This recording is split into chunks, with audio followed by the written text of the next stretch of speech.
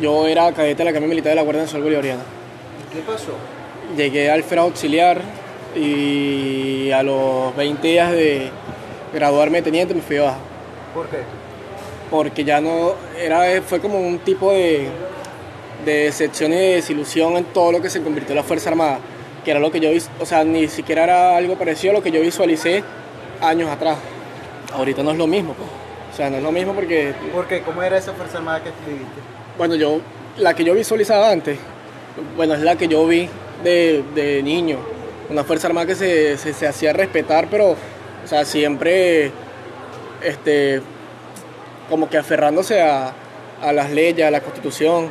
No una Fuerza Armada politizada, que es la que tenemos ahorita en, en Venezuela, lamentablemente.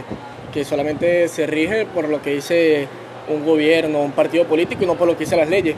Y a mí me enseñaron, por ejemplo, que o sea, la Fuerza Armada está para el pueblo, no para, para otra cosa. Entonces eso creó una desilusión, decepción. Yo viajaba constantemente a San Cristóbal, de San Cristóbal a Caracas, y uno veía todo ese, o sea, es como un sistema de trampas que hay, tanto en San Cristóbal, que es mi tierra natal, donde yo vivo, pues, para pasar a Colombia. O sea, uno ve muchas cosas que no, no, no le gustan a uno porque no vamos a decir que uno es el hombre más moralista que hay, pero siempre uno tenía como una referencia distinta a lo que lo que es la Guardia Nacional